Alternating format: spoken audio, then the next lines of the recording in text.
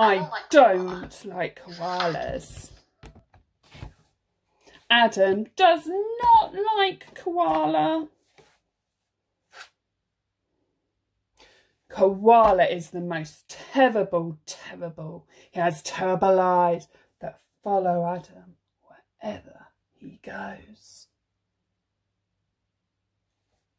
Adam tries to explain to his parents he does not like koala. Every night when it's time to go to bed, Adam has the same routine. He has a bath, puts on his pyjamas and he brushes his teeth. Adam puts Koala away, away in different places. In the kitchen, in the sitting room, in a bag. Koala is always there in his bed, on his pillow, getting closer and closer.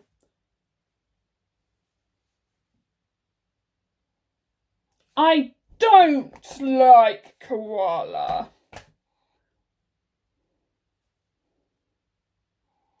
Father says, don't play with koala like that. You'll lose him.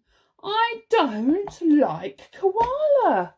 Mummy says, don't leave koala behind. I know you'll miss him. I don't like koala. After snack time, Daddy says, you must have loved your snack. You ate every bit. What snack? asked Adam. Or maybe it was koala, Daddy said.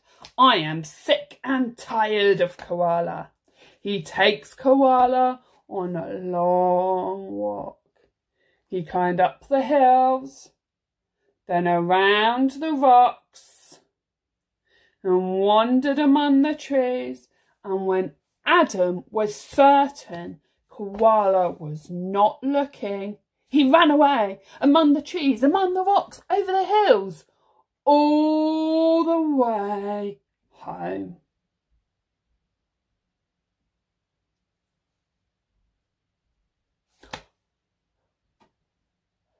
Koala was there! That night, as Adam dressed ready for bed, he knows there is nothing worse than Koala. Koala is the most terrible, terrible, his terrible face, his terrible claws, his terrible eyes that following him wherever he goes, watching and watching and watching and watching and watching for a more terrible, terrible.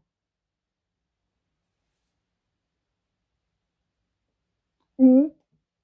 Maybe koala isn't so terrible after all. Adam makes sure koala is comfortable. He makes sure he is closer than close. And right before he goes to sleep, he whispers, I